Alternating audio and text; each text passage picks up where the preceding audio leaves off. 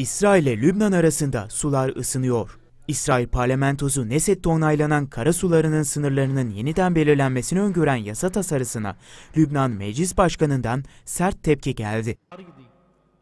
Lübnan Meclis Başkanı Nebih Berri, İsrail'in kara suları sınırı konusunda aldığı son karar, Lübnan'a karşı savaş ilan etmesiyle aynı anlama gelmektedir dedi.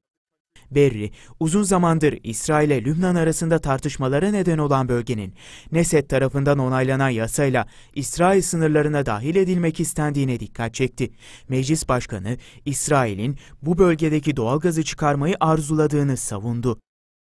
Lübnan'la İsrail arasında yer alan 860 kilometrelik deniz sahası zengin doğal gaz rezervleriyle biliniyor.